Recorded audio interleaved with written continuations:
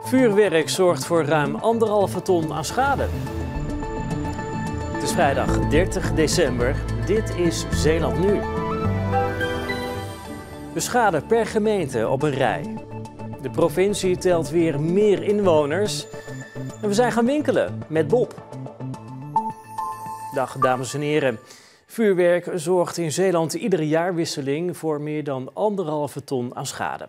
Dat blijkt uit cijfers van Zeelse gemeenten. Vorig jaar bijvoorbeeld was de schade in Goes alleen al bijna 20.000 euro.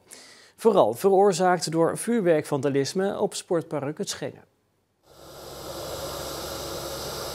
Sportpark Het Schengen in Goes. Hier ging het bij de vorige jaarwisseling flink mis. Opzichter Toon Smits maakt een rondje langs de velden. Dit heeft echt een uh, andere kleur? Ja, dit is, uh, het hele stuk hier was uh, ook in de brand gestoken. Of door vuurwerk of gewoon door brand. het was helemaal verschroeid. Dus we hebben dus helemaal dat stuk hier uit moeten snijden. En een nieuw stuk erin. Sommige schroeiplekken zijn niet behandeld omdat ze net buiten het speelveld liggen. Wat is dit?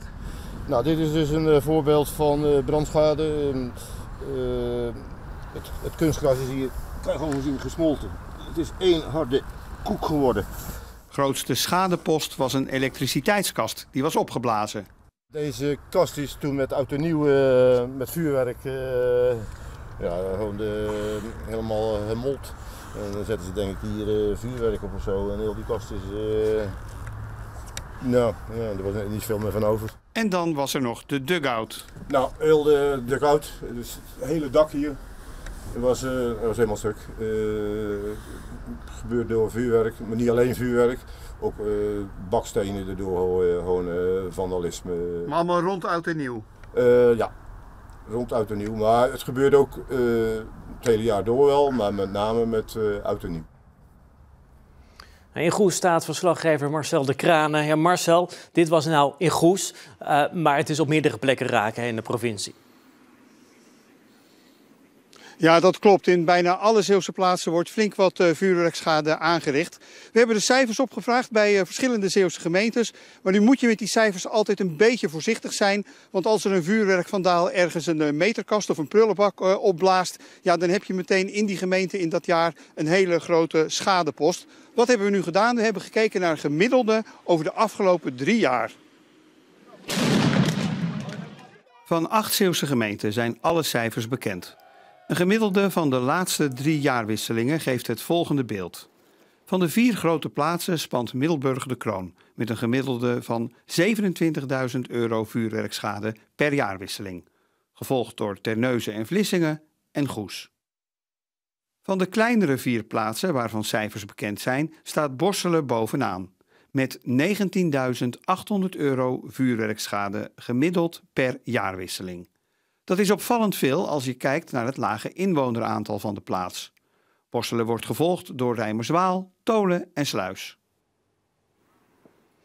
Marcel, in totaal kom je uit voor heel Zeeland op gemiddeld per jaar anderhalve ton. Wat kun je er tegen doen? Ja, dat is niet eenvoudig. Kijk, je kunt moeilijk bij iedere meterkast of parkeerautomaat een uh, politieagent neerzetten of een uh, buitengewone opsporingsambtenaar. Hier in Goes en ook in andere plaatsen heb je vuurwerkvrije zones. Bijvoorbeeld bij eh, dierenasiels of bij bejaardenhuizen. Ja, wat moet je doen? Ik vroeg het aan de burgemeester van Goes. We dekken af, eh, we treffen voorzorgsmaatregelen. Maar als je wat wil, en zeker met illegaal heel zwaar vuurwerk, want zo'n afvalbak die wordt niet opgeblazen met een klein eh, rotje en ook niet met een vuurpijl, maar echt met zwaar illegaal vuurwerk. Er is bijna niks aan te doen. Je stopt het ergens tussen. Ja, of je moet het allemaal weg gaan halen, maar dat wil je ook niet.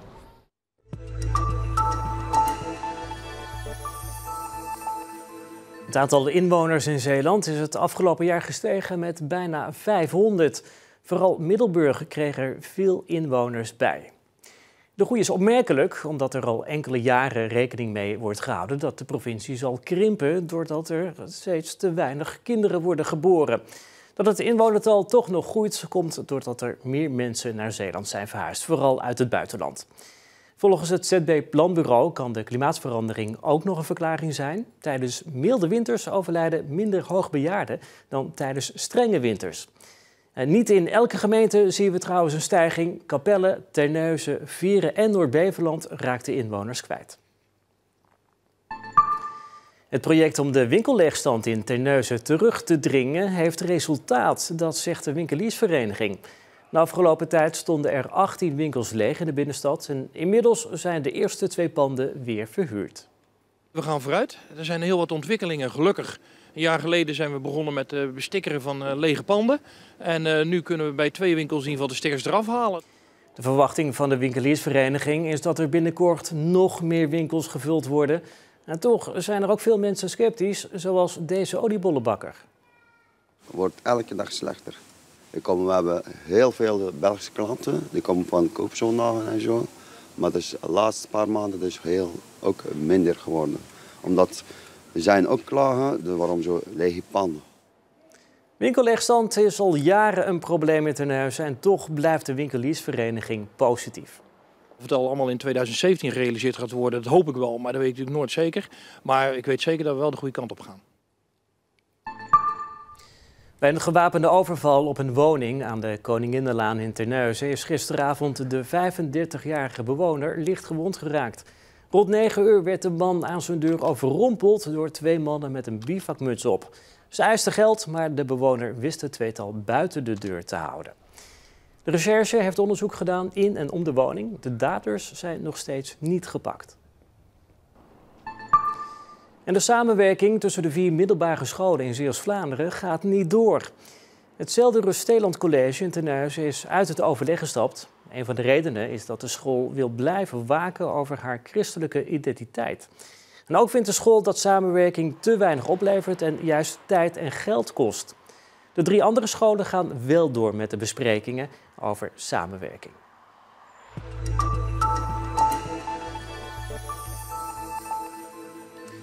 Van thee zetten tot boodschappen doen, hulphond Bob, die kan dat allemaal. Angela Maas kan niet meer zonder hem.